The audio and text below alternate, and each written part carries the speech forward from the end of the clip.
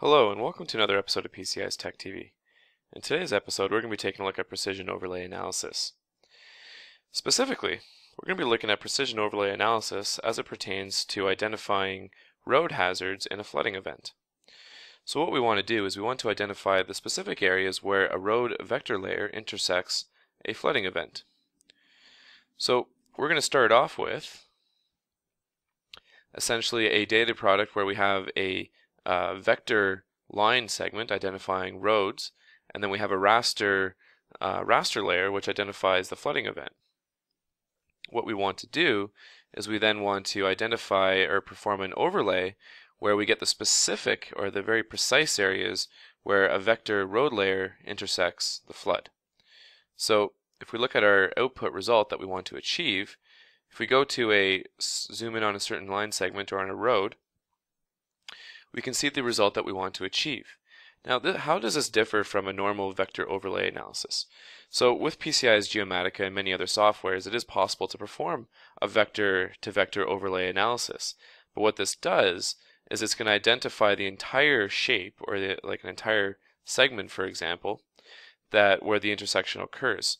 So just to give you a better idea what that means is if where you can see this road segment or the shape from here from that node down to here, it intersects only a part, only on certain specific parts. Uh, it doesn't intersect the flood.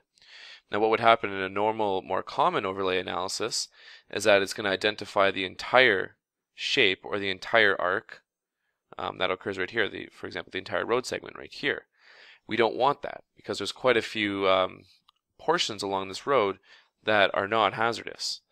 So that is, uh, that is not what we want to identify in this example. What we want to identify is the precise areas where um, the flood intersects, or the, the roads rather intersect the flood, as we can see here. So we're going to start off with, as you can see, our uh, our two input our two input layers. So the first input layer is a vector shape file, as you can see here. So I'm just going to go to our table of contents. This is our vector uh, line, rather, identifying roads. And then underneath that, we have a raster uh, layer identifying uh, flooded areas uh, from non-flooded areas. So the first thing we need to do is we need to work within the raster domain. So what we want to do is we want to convert the vector road layer to a raster layer.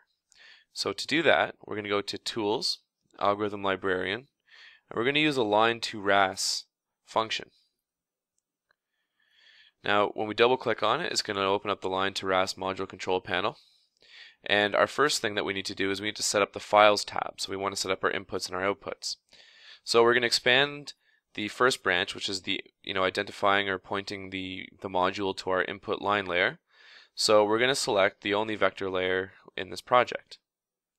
Once it's selected, the icon goes green, identifying that it's correctly set up or the input is valid. The next thing that we need to do is we need to set up our input area, our bounding area. So we're going to specify that to the file, the raster files georeferencing segment, because ultimately we want to put we want the georeferencing that, of the raster layer that we create, this output raster layer that we're going to be creating, um, to match up exactly with the underlying raster layer, uh, the flooding event. Then for the output, we're going to put it in the input file. So we're going to save it there. It's going to create a new line segment. We can then go to input parameters.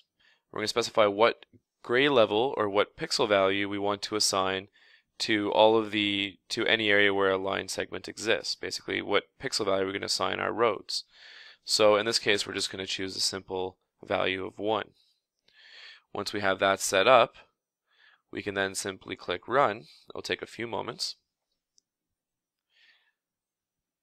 As you can see, it's quite quick. Verify with our log that it was successful, and then we can then close this panel.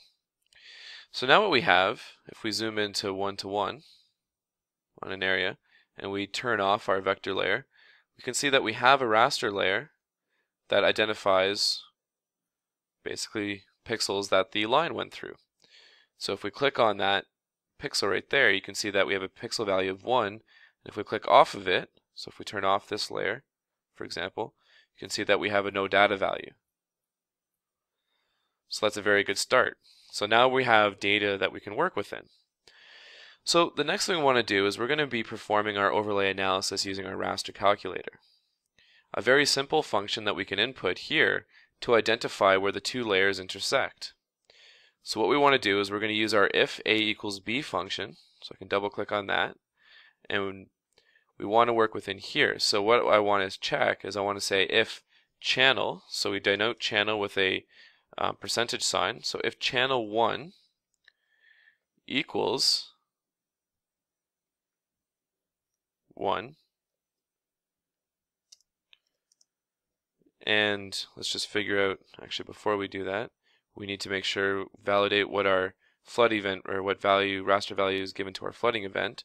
So if we click over here, we can see that the value is 1. So now we go back to our raster calculator.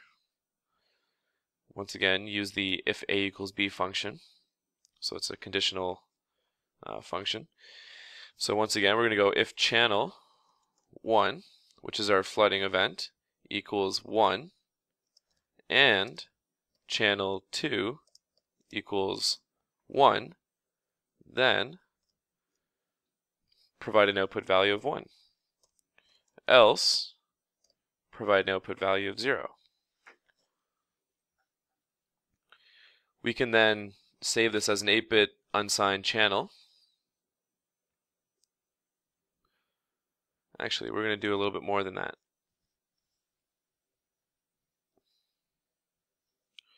We're going to provide Actually, no. Sorry, we'll do that. So we can put this as an 8-bit channel, or alternatively, we can put it as a bitmap, because we're just working with two uh, values here. In this case, we're going to put it as an 8-bit channel, and we're going to save the layer.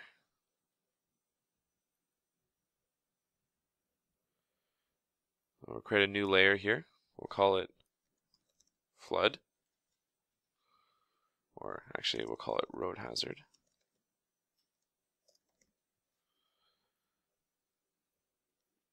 And then we can simply click on the Run button.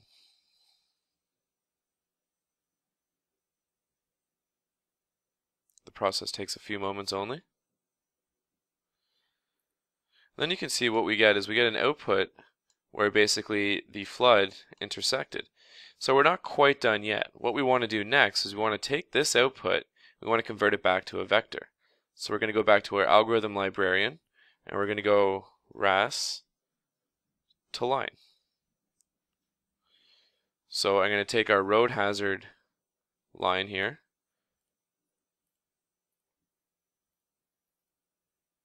We'll put it in there.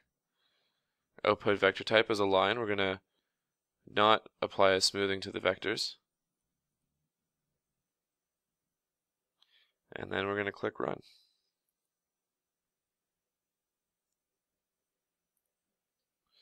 So now we have all the areas that denote a flood extracted as a separate polygon.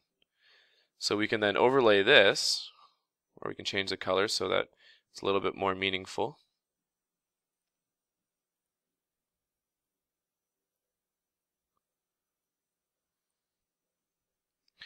And then turn off these intermediate layers.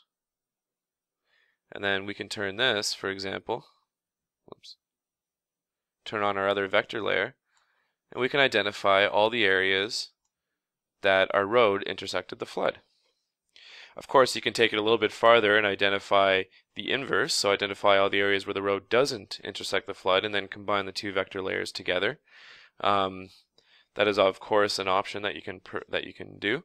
Uh, as far as this uh, demonstration is concerned, it was unnecessary. So uh, but yeah, so essentially with this, you can get some very valuable information and, and precisely identify where your areas of intersect occur. So thank you for watching this episode of PCI's Tech TV.